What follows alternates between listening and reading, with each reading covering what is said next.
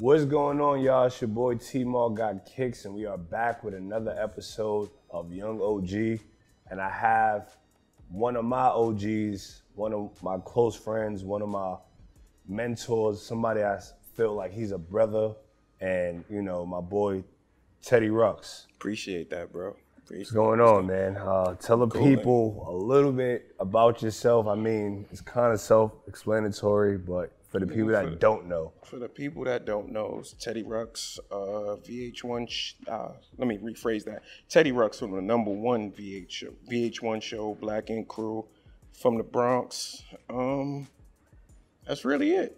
yeah, That's, man. re- that's really all I can say. So today we kind of want to just dive in for the people that really don't follow you, that don't know that you're really into sneakers. Like mm-hmm. you're really into fashion.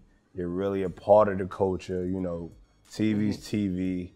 A lot of people don't get to see that other side of Teddy Ruck. So we're gonna dive into sneakers, fashion, fitteds, the culture, how it was back then, how it is now. So Let's get it. I'm ready. First thing, let's talk about growing up. What was the sneaker that got you like kind of hooked on sneakers? Like I had to have it, and then that opened that door for you just wanting to buy sneakers. I could go all the way back to like second grade, bro. My first Jordan would be the Infrared 6. And you know what's crazy? We always have conversations. Like for me, it's black cements, but one A, one B, like infrared six. And we all like we kind of connected because of the infrared six. Infrared 6, So, exactly. That's like, crazy. You remember that That's crazy because he didn't change his story from then. And when I do interviews, it'd be like, "Yo, what's your favorite shoe?" And I always say black cement, but Mm-hmm.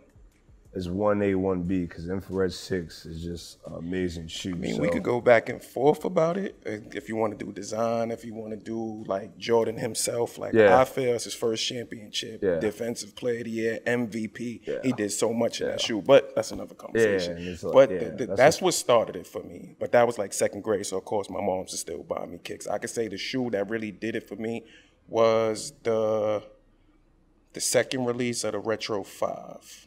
Okay. That's when I really started like buying my own shoes. That might have been oh, like I'm ninth say grade. ninety nine. Yeah, that might have been like ninth grade for me. I might, 2000, yeah. I might be telling my age right now, but that might have been like ninth grade for Yeah. me. yeah. And So it's like at that point, my mom's just like, "Yo, shoes is two hundred dollars. You playing ball, you on your own, bro." Yeah, you gotta figure it out. All right, cool. So growing up, up until eighth grade, I had every shoe that came out, but I was hooping, so I used to kill my kicks. Yeah. And then like once I had to buy 'em myself, and you know, I, So, I, our big brother that's Jim. my similar story as well, where it's like it didn't matter what shoe it was. If you went to the park and your boys was hooping, like you hooped in it. like in it.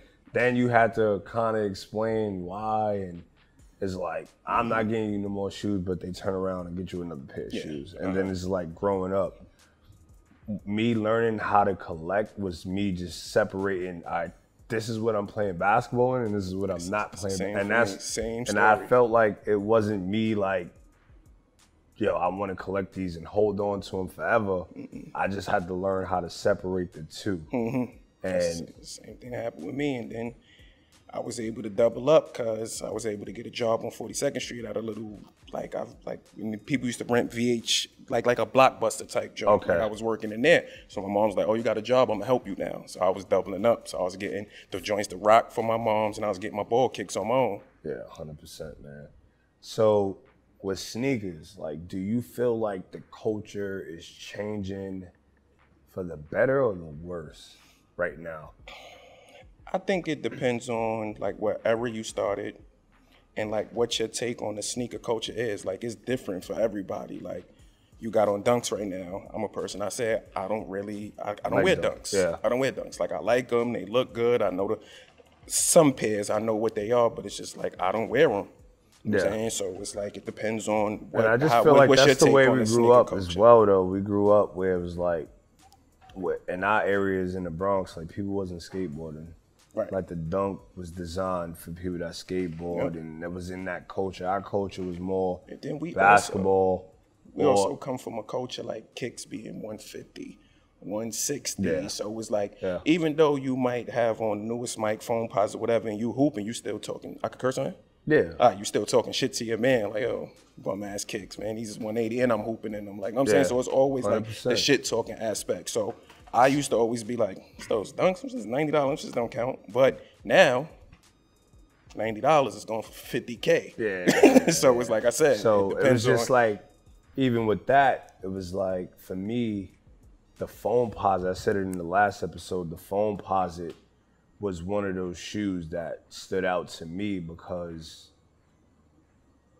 everybody didn't have Foamposite money. Listen, I'll tell you, I might have been eighth grade. The first Royal Blue phone pods that came out. I loved them. Everybody knows it's terrible. I'm like, nah, that shoe was crazy. Clear Yeah. bottom. Like, I don't know what they got going on. It was, It was just different. different, but But, that price my point mom was like, different, that too. price is different. You, Yeah. You're not getting those. Yeah. You're not Yeah. getting those. So the But- first phone I bought on my own was a silver Tim Duncan. Love it. Love it. That's that, that's a shoe that, you know, if you knew, you knew, and at that time when it first came out, that was a two hundred, maybe two hundred dollar plus shoe. Yeah, definitely. I think it was like 207. And I the taxes. remember having the Tim Duncans as a kid because that was the first Foamposite that kind of like came out for kids. kids. Yep, but it wasn't the same know material. It wasn't the same material. A It lot of people don't even know that shoe came out in a So I size. remember that even being back then, but I remember my brother having them, Mm-hmm. silver dunk, Tim Duncans, and they had the blue hologram type different of swoosh kind on of it. shoe, man. Yeah, different so shoe. and then fast forward to that, the Duncans came back out and they did the white and black pair. Mm-hmm. And black that's pair. probably besides the silver pair, that's probably my favorite Tim Duncan ever. The white Very, and black very pair. rare shoe. Can't find rare shoe. Can't, Can't find them, and that's one of the pairs I hope that they retro because Nike's supposed to bring back the Tim Duncans. I mean, it's just a matter of time. It's gonna come back. Yeah, I need the It's white and black back. though because they gave us so many other colors that we didn't want. We didn't Mm-hmm. That want the royal. I'm pretty, I'm more than 100% sure that that shoe is on the way. Like for Nike to bring out the Duncan later this year or next year, whenever it release again, and them not to do the white colorway again, they tripping. They, we need those. So what what fits you was wearing when that shoe came out? Because I know vividly what fits I was throwing on. I was wearing Parasuco jeans.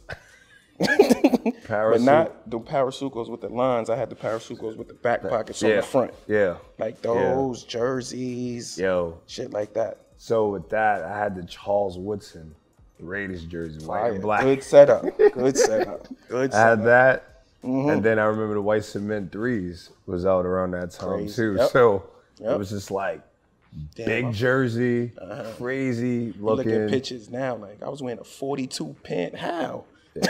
42. But you knew what it was. That was just the culture then. Yep. And this is why I preach where it's like a lot of people wasn't messing with Jordan 1s because you wasn't wearing a size 38, on 40. top of a Jordan one, of a you'll be walking. Your jeans would be Yeah. up under here. And I remember people used to put rubber bands so it won't drag. Mm-hmm. Remember they the- put the remember thumb putting the tack, the tack. thumb tack in the back of your Thumb phone tack, posits. yeah, uh-huh. So it's just like I'm younger, but I just remember that because I have older brothers and I was always accepted by the older people in my You- neighborhood. You, and you remember putting your pants in the socks so you yeah, down your sneaker? hundred percent, and then and then still roll it, and it's like just so it wouldn't drag. Mm-hmm. And you know, used to hate when it snowed because they used to put the salt. Yes. When the salt Kill get on your sneakers. jeans, That's back in the days when your clear bottom first wear, they turning yellow. Yeah. So stuff like that was just like crazy, but now it's just everything is in your hand. Like you can just if you miss a shoe, I'm going to StockX. I'm going ahead. I'm going this.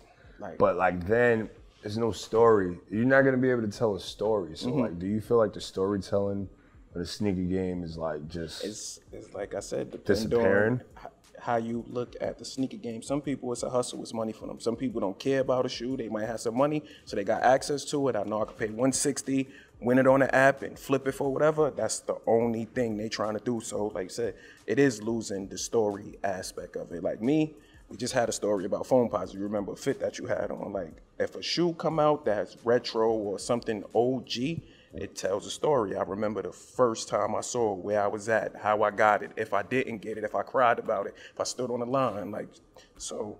That's the culture I come from when it comes to sneakers, and like you said, that part of it is being lost. Yeah, and I felt like that just you know created the love for It used to be fun. Like it was no release dates. Like you didn't You really go to know. your mom, your local mom and pop store, get them a week early Mm-hmm. for basically if you had a relationship with them, box price. If not, twenty dollars over. It $20 wasn't over. give me five hundred over, Yes. give me three hundred Yes. over. And it's been times where we spoke and you be like, "Yo, they got these hair and they want this," and I'm like, "What? Nah, like wait, just wait." And it's been times you pulled the trigger, and there's been times you You calm me down a lot with that because I come from the let me get it, let me get it, let me get it. I need to be first. I need to be early. Now, like you said, there's no reason to be first or early. Sneakers come out. Three pairs might come out in a week. There's no way you're gonna get to all your kicks. So you got time. yeah, You got time. Or like you say, you got StockX, you got the club, you got all these sneaker stores to where you don't have to rush and get it. As to where before, you had to know and you had to be there for it. I'm happy you said Flight Club because Flight Club was just. I remember it was a place where Consignment store. people was just consignment. They had Mm-hmm. a few flight clubs, but I remember the first one that was by Pace University by the Brooklyn Bridge. Mm-hmm. that? Water Street, Water Place, Yeah, something was- like that, yeah. somewhere around there. And that little So cut block. yeah, it was by Pace University. Uh, I used to take the six train all the way down there and just walk to it, but the prices wasn't crazy. You know what I think it was with us with that store too? It was the first time you really got to see like OG Jordans and like shoes that you just don't go to Hunts Point or go Right. to Flatbush Avenue. right. You don't so see. It's like a kid walking in the toy store. Like you walking, you just looking around like, oh, I remember those. I remember those. It was the first of its kind. Yeah, like Flight Club was definitely I feel like one of the forefathers when it came to Absolutely. to the versatility, having consignment stores and having the versatility in their store because Kinda hated Flight Club for a little while because it gave people a chance to catch up and say, yeah, I'm a sneakerhead, or I'm in, I hate that term. Yeah. I'm I'm in the sneaker culture. I've been getting kicks. It's like yeah, because if you have the money, then that doesn't mean you've been getting kicks. That Right. means you got money now and Mm-hmm. you can just buy whatever you want. But on the other hand, there's shoes that no matter how much money you have, can't obtain. if you can't find it in your size or you just can't find it at all, over. you can't buy it. It's over. And you Yeah, know, got it's a few- lot of got that a- old you got a- stuff. You got a lot of those, man. It's a lot of shoes, like older shoes, that's like that though. Mm-hmm. Because no matter what, like I seen you post like your '99, 2000 uh, Fire Red Fives. Yes. Like a lot of people don't have that shoe in the condition you have it in. Mm-hmm. You feel me? So like something That- like that is kind of priceless because you said that's one of the shoes that got you into. Like I, actually, like I don't. I'm still not a sneaker collector. Like I just, just love like kicks. Yeah, I just love kicks. just Like love even sneakers. back then, it wasn't like oh, let me get them, put them up, or whatever. Like you said, it was just a separation of basketball.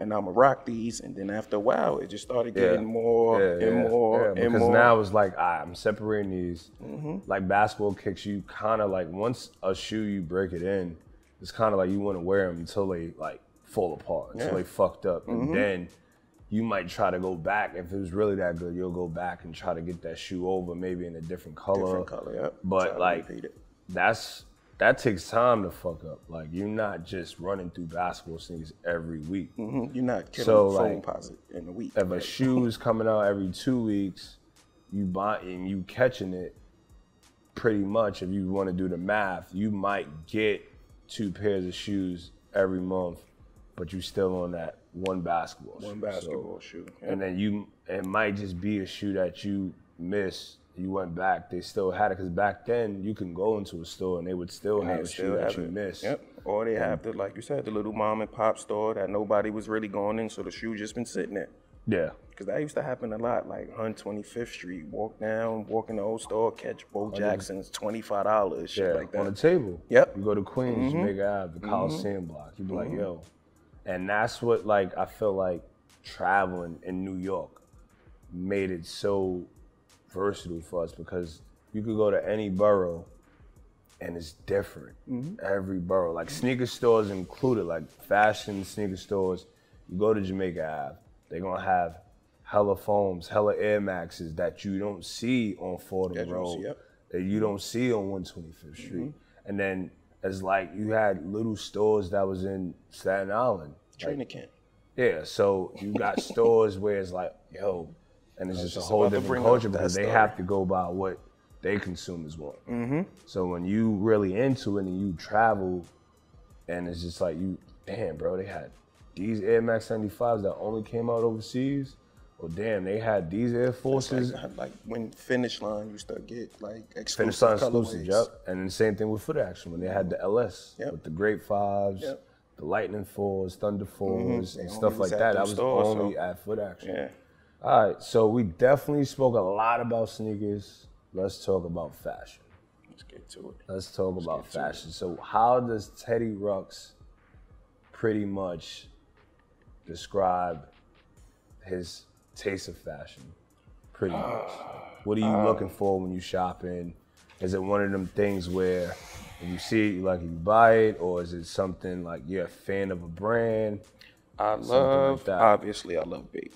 Bape always is- been one of my favorite joints, but like you said, Bape before, it wasn't as accessible as it is now. Yeah, so was- where it it was becomes only the Bape store. a quote unquote hype beast fit now is something I've been wearing for a very long Yeah. time. So it's, I'm just But comfortable in it. Like it, this is more of a dress down for me. Like people might seem like, oh, he fresh, and it's like this is me just chilling. Like, you know what I'm saying? I came to do an interview with the homie T Mo. If I'm gonna get dressed up or if I'm putting the fit together, I try to go for the.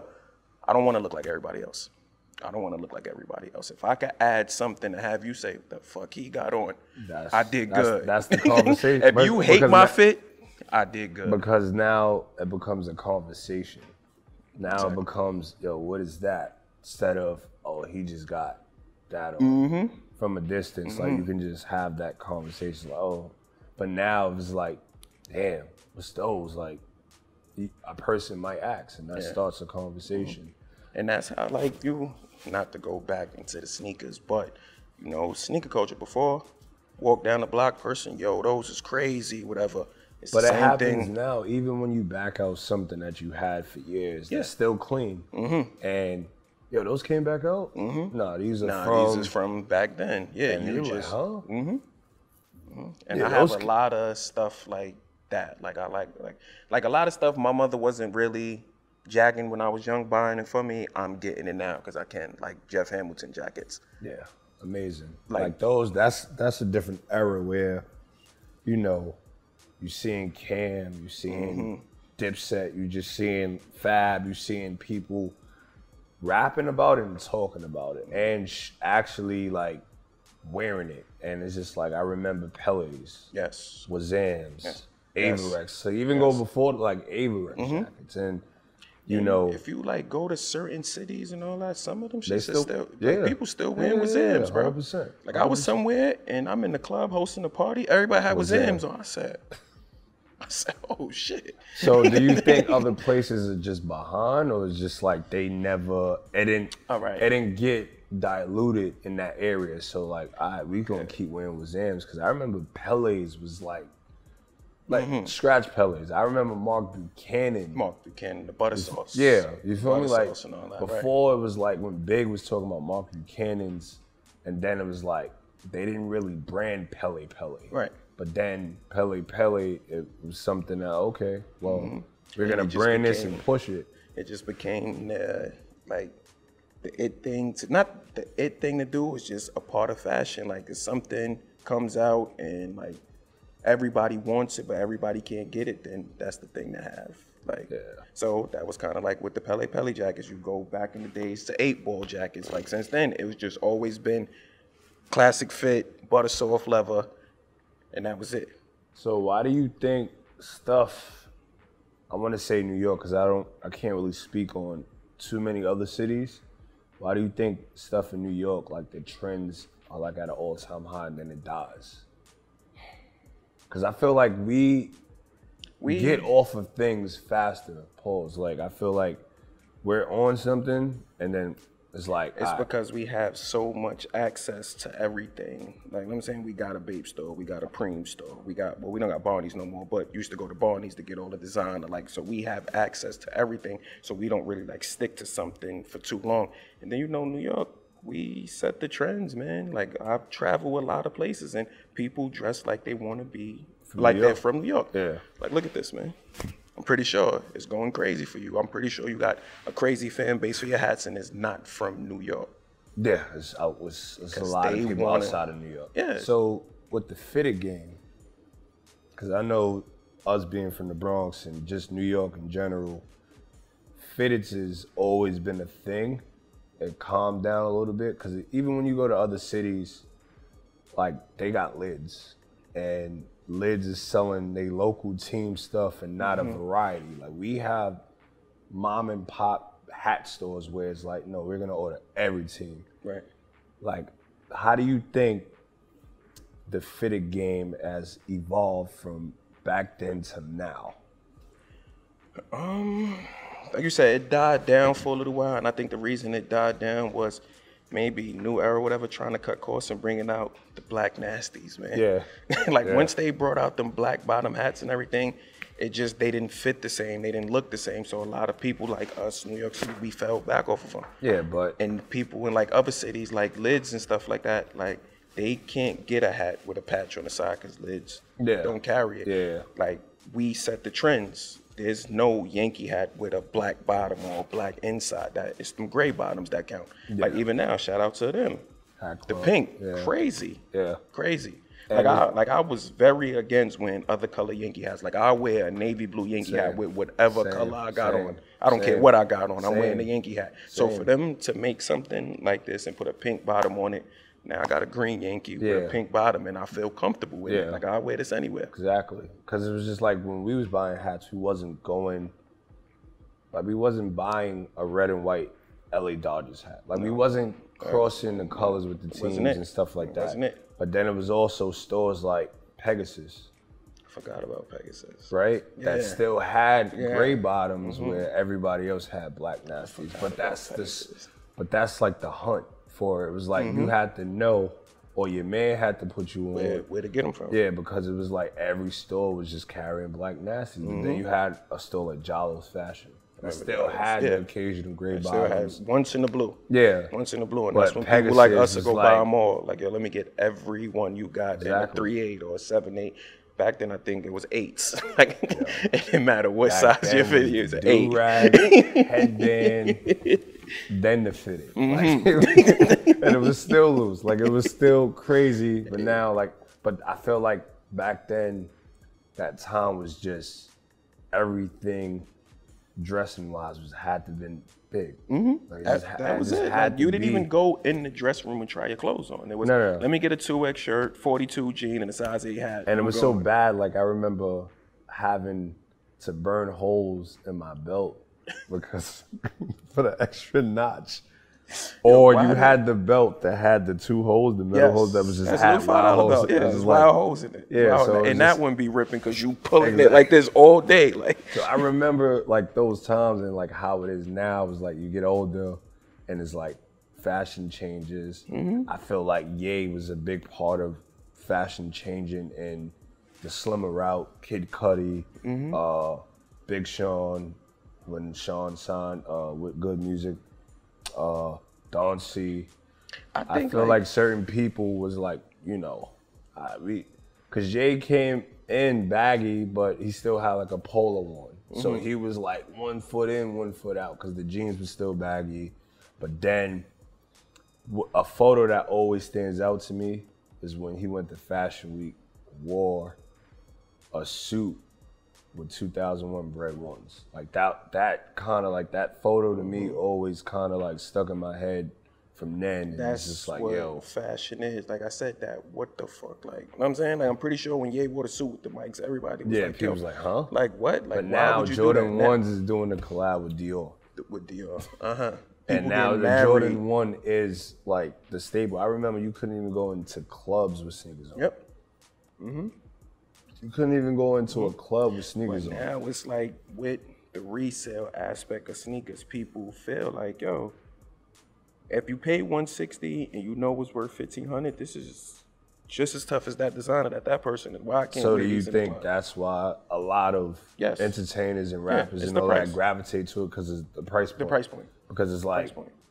Air Mags, 25, 30,000, right? So my Air Mag, uh, so pretty much it's like a pissing contest. Yeah. Mm-hmm. Like, yeah, you got these on, that's, yeah. But That's exactly on a right. resale market, they ain't worth shit.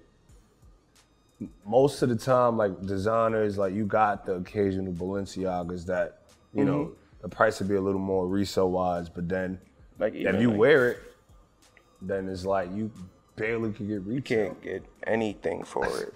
And But, like, sneakers, what I've realized that like I was going Balenciaga crazy, and it was that everybody hated the big Balenciaga. I was like, you know what? Everybody hated. it. I know how to get You fresh. wanna do it I want to wear it and make people like Go it. So it's like exactly. So I'm wearing the big Balenciagas. Big Balen- I'm going stack here, stack here, stack here, and then I'm missing satin bread. you know what I'm saying? Yeah. Satin Royal, and it's Yeah. like, damn, I didn't spend five thousand on Balenciagas. I could have had both of those in my collection. Yeah. And here I am. Once they put the lights on the Balenciagas, it was a dub for me. And now I'm chasing satin breads and satin. It's like I could have been had them. So it's just like I said, I go for the what people really don't fuck with, but I know I could do something with it. Yeah, just to show the people like, ah, you don't fuck with that don't mean it It's can't be done. Exactly. Like, and another thing I like about with fashion now is like, you don't have to really have on the most expensive thing if you know how to put it together. Hundred percent. If you know how to get fresh, you know how to put it together. You could spend twenty dollars on an outfit. You could spend twenty k on an outfit. It's up to you. This is being creative. So how do you feel about people spending a lot of money on outfits but don't put it together? Like does that That's the worst shit in the world. It's like you can't go in the store and say, okay, that mannequin got that on. Let me get that. It's not gonna look the same on you. And a lot of these rappers, a lot of these entertainers, that's what they're doing. And to me, that's just not it. Like, look stupid. Yeah. Look stupid. mean- like an expensive idiot. hundred percent. I And mean a lot of people don't is- get it. yeah, and like you said, the bragging rights, like, oh, I got on a twenty thousand dollar outfit. You look stupid, bro. Like, yeah. but but it's you twenty thousand. Like and they mind okay, but it's twenty thousand. now you a hater. So like you're more on, you know, the TV side and have you ever been offered to get like a stylist? Like has Yes. somebody ever Always, always. and like a lot of people always ask me, how like, do you feel who's about your that? stylist? How do you feel about the stylist as like point of it? Like do you feel like I'm not against it. I don't need one though. Okay. I'm saying it's a waste of money to me. Instead of paying a stylist to go pick out my fit, I want to go pick out my fit. Like luckily, I haven't gotten to the point to where I can't go shopping. Like if I go shopping, it might be a little uncomfortable sometimes. People want to take pictures, whatever. Ted, Ted, Ted, cool, no problem. But I can still go outside and go get my clothes. So for a person that can't, that can go get their own clothes, but needs somebody, Somebody to pick it like out for 'em, LeBron. Like LeBron wouldn't be able to go outside. Yes, he's not like, going. Every time he walks in the store, it would have to be shut down. Nobody would be able Exactly. to come in, and you know that If, causes if I ever get to that point, cool. Like I'm not against it, but would you hope have a I- say? Would you have? Would you want to have a say, or would you trust pull 100 percent trust into that? It would person, have to be on- somebody who really knows me. Like I don't think I could just pick up somebody off the street and say, "Oh, that's my style." It's like it would have to be a person that know Ted's style, because like you could walk into any store, see a fit, and be like, "That's fire," but Ted won't wear that. would wear it. Okay. So you would, ha- I think the person would have to know me. Okay. So it would have to be somebody that's really like studying how Ted Ted dress. Because my thing is, I feel like even with styling and being a stylist, like if you're gonna reach out to somebody, like you have to do your research. You have to do your homework. Like you would have to look at, you know, okay, How that person dress, Yeah. what they wear, what they yeah, don't oh, wear. well, what- he likes Bape, and that would show because you would have even if it's not like a hundred photos of you in Bape, but if You it's see it. five or six, like oh okay, and it's You know he different. like oh, he likes Bape, or Mm-hmm. he's certain pieces of Bape he messes with. He might not mess with everything, but coming into the conversation, you be like, oh, Right. well, so that's how well, I I- see that you wear Bape a lot, or I see you wear Bape. Like, are That's definitely an eye opener or an interest catcher. Like, okay, like you paying attention. Paying attention. You paying attention. Like, don't bring me say like I don't know. It's difficult because, like I said, I be I don't have like just one set fashion. Like this is my th- only thing I could really say I feel like is really my thing, and a lot of people kill me every time they see me in it, but I'm just comfortable. Is the button ups and the basketball shorts. Like that's totally going against like how you got on a button up and a basketball short, but I'm comfortable in it, and I know it look good. Everybody might say, "Oh, how you do that?" and you not comfortable enough to do it. You know what I'm saying? I'll come outside with the most weirdest shit on, and I'm comfortable. Like sneakers again, Jeremy Scott, wings on the back. I remember that. I, I remember love them because it's like, yo, what the fuck you got on your feet? But you fresh, bro. Appreciate that. that. Yeah. 100%. So that's fashion to me, like knowing how to put things together. Like yeah, you don't have a lot to, of people don't know how to do that. This is easy. I feel like, like all you- bait, Sean Wotherspoon sneaker. That's an Yeah, easy yeah. layup but fit. being like, able to put pieces together Right. that has, you know, that's not bait, like like basketball shorts and a button up. Like that's a lot of people can't pull that off. they, they wouldn't know how to pull it off. They would. It doesn't even register with them to even if they go and shop and to, like put that together. So it's like, you know what? I But here's the thing. It's like people thinking basketball shorts is not just like Ola's. It'd probably be some Don C basketball shorts mm-hmm. or It's it'll probably be, you know, Right. something that's It's not gonna be. A, it's not gonna yeah, be a swing gonna, man short. Yeah, It's like not you're not gonna gonna have you're a regular Nike a little. five hundred dollar button up with some sixty dollar shorts. Right. It would have to Like, it's- balance. Right. Because at the end of the day, like the Don C's designing them shorts kind of like on the high end, uh, like a higher end than just a normal Mitchell and Ness shorts. Mm-hmm. Right. Like there's details that's into it, zipper pockets. Another conversation we had. A lot of people was getting the dons mixed up with the sponsorship shorts. Like, Yeah. these Yeah, are not yeah, the shorts y'all seeing on them little sponsorship pages and all Yeah, that. yeah, So, yeah. like I said, But the thing is, you know what's bad with the sponsorship stuff is that they use Don C's references. Like the people that's wearing Don C shorts. Like I, I seen I see it often. They'll have the photo of LeBron with the Lakers shorts on. yeah, But like To I promote their shit. it. I could catch it, like, cause Yeah, I, I like 100%. Don C shorts, so I could see somebody 100%. walking down the block and it's like, those ain't the Dons. Yeah, but, because uh, the but some mesh- people really don't know. Like some people may see I think me. some people just don't care too to know. People just don't care, like, because at the end of the day, it's like a lot of people's doing certain things for certain people. Like a lot Mm-hmm. of people do the most. If you're a male, you, a lot of people do a lot for females' attention. Absolutely. A female, if she's not really into it, she's not gonna be able to even catch that. Mm-hmm. Like she's not gonna go, oh, you ain't got Don C shorts on. It looks exactly But like, the same. but it's certain things like females are into, like the Don C hats. I remember females was wearing it, so they would probably be able to detect that. Like, depends you on got a the fake. Don on, because like certain females is hip to game, but a lot aren't like in certain styles. But for the most part, you know, females, I think they run the fashion industry. They run the fashion world when it comes to like knowing trends, because a lot of these stylists is females. Like LeBron stylist is a female. Like a lot of people, look- I never even looked at it that way, but now that you say that, that is very true. Like a lot of stylists are females because they study that shit from head to toe to doing the research. Like, mm-hmm.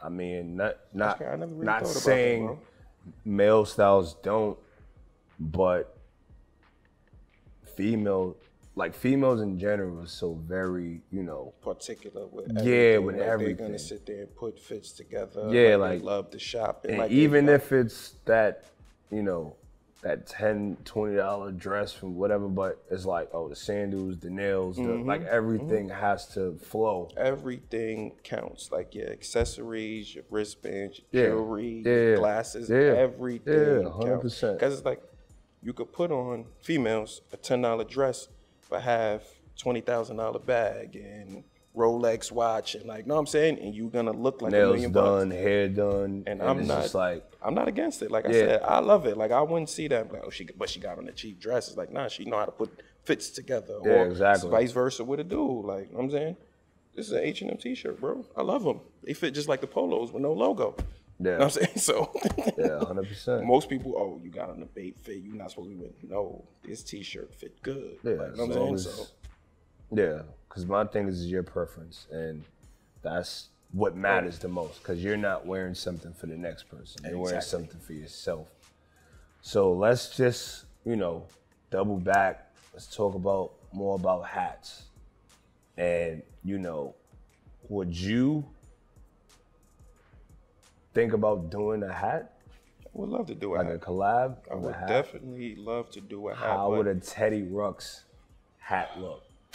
Like how would that hat Hmm. be look? I mean, I feel like it would be a Yankee. it has to be a Yankee. It, would for be a sure Yankee. has to be a Yankee, but it would just be something that, like, Cause you got you got a fan base. You have people that's Mm-hmm. if you put shit on the stick, they're gonna support you because at the end of the day, you're dropping it. right. But I wouldn't want to do it that way to just please everybody because of me having a fan base and me having X amount of followers and all that. It would definitely have to be something that I love. something you would be comfortable wearing for yourself. Like what you're saying, with me doing a hat, it has to be something that I know I would wear. Of course, if I want to just do something real quick, make a play, make some fast money, it's like, okay, cool.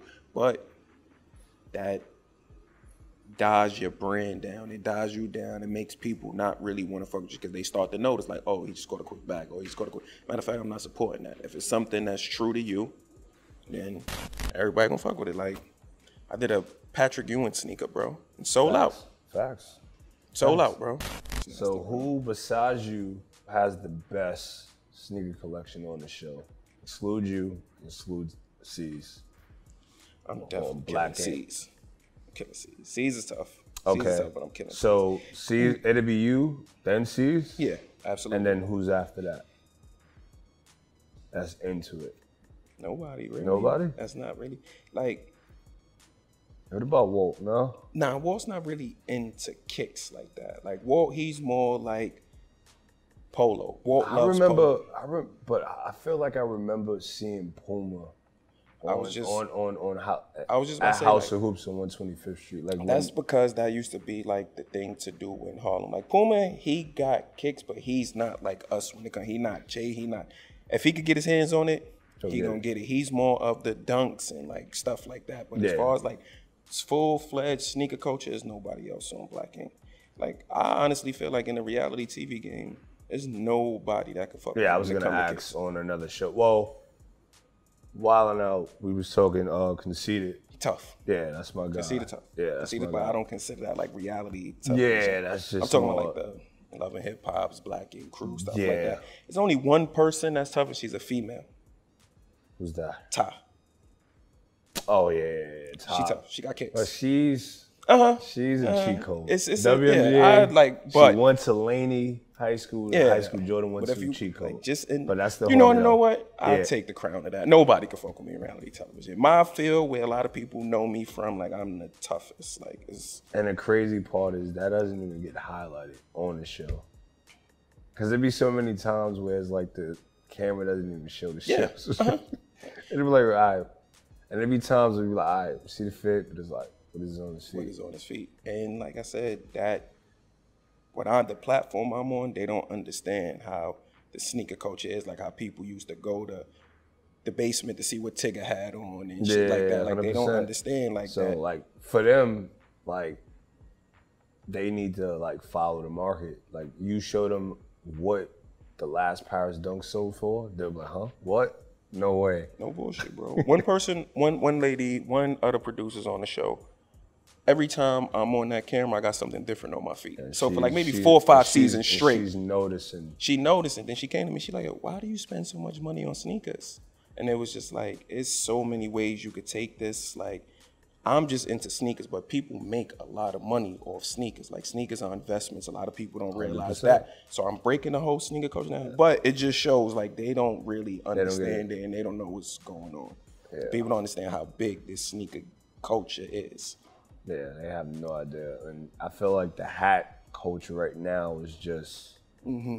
going crazy. Like I seen people reselling my hats, which is like I see when you posted like that. for and I was me that's it's like I, like because people thought I was gonna be upset at it. No. I'm not upset at Mm. it. Like I know this is a part of the culture. So honestly, it's kind of like something that I was like, wow, like people was really getting my stuff and putting it on a platform to resell like I said, you can't deny it. People want it. Like everybody might not have a reach to T-Mark to get your hat. So for it to be Yeah, on so it's always I always get the the um the talk like, yo, my man hit me for your hats. He wanted I to see you. How get many hat. times I called you? Like, Yeah. yo, and I tell you, like, bro, that's a reputable person. Like, I'm not just gonna put your hat on anybody 100%. because, like I said, I know that's not what your hats represent. Yeah, certain people just, you know, like certain people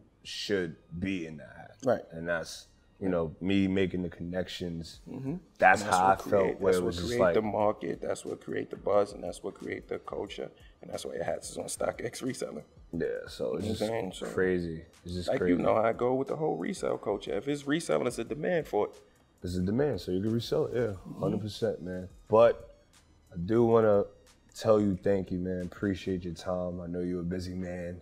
I know. Never too busy for you, brother. Nah, Like, but- I appreciate nah, I you appreciate even reaching you. out to me to do something like this. I respect the fact that Yeah, I'm not reaching out to everybody. I'm gonna be I know, like I said, you. I'm I gonna be honest for with you. years. I know how you are, Yeah, man. I'm not reaching out to for you to reach out to me and ask me to do this, no problem, bro. Nah, I'd I have stopped whatever I was doing for this. Appreciate that, man. Thank you. You ready, bro? Yo. All right, y'all. That was another episode of Young OG. I need y'all to like, comment, and subscribe at Debate the Hype. It's your boy T Mark. I'm gonna see y'all at the next episode.